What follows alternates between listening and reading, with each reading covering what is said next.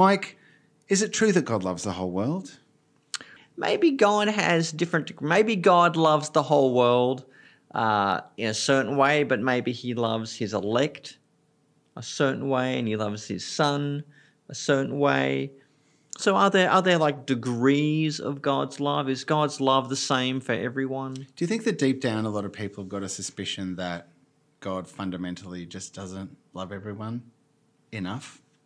Oh, I think some people certainly feel that. I mean, people can wonder, you know, does God love me? Am am, hmm. am I lovable by anyone, even God? But the Christian message is that God does love everyone. I mean, this It'd is be nice if there was a Bible verse that just oh, told you that. I know, clearly. I know. I mean, but where? Oh, wait.